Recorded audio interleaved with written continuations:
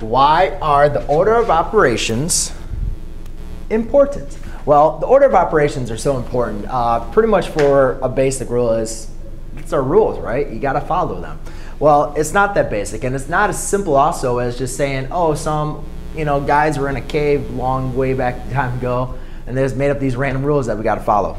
The way that I like to look at it is a language if you look at any language all over the world, they all have certain rules that you have to follow. Not just you know what words to say, but also you know how you set up your sentences and how you set up your phrases where you speak. Um, are you talking about in the past or the present tense? There's all these sets of rules that we have to follow. And why do we have to follow these rules? For it to make sense, right? For us all to be on the same page so we can communicate with each other. Mathematics is no different. We need to be able to communicate with each other and we need to make sure we're on the same page.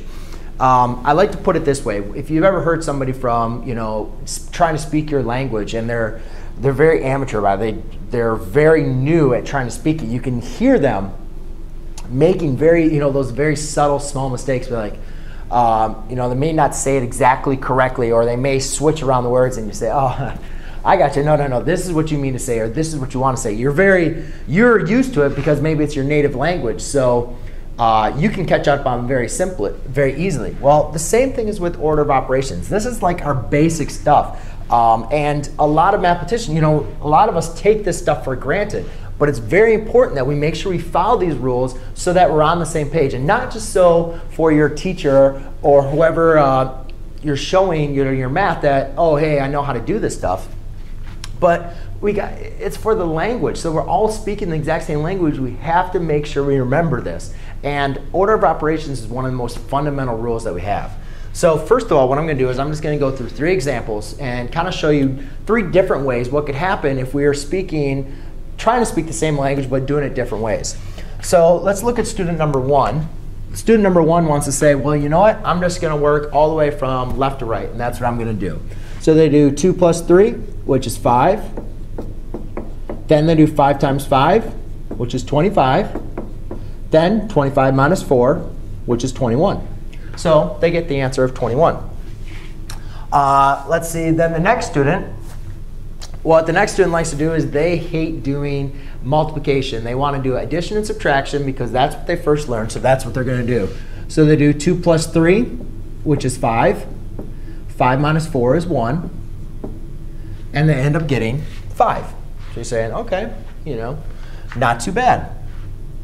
Um, so now let's go ahead and look at uh, the next student. Now the next student is going to do, uh, they're going to add here first. So they'll do, uh, um, I'm, no, first student, let's actually go through this because I, I remembered I was going to take this a different direction. Let's actually follow now the rules about the order of operations so we can actually see what the correct answer is.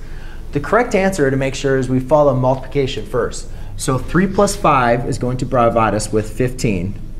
2 plus negative 4. Now, the next rule of order operation says to do addition and subtraction, but just make sure you do it from left to right.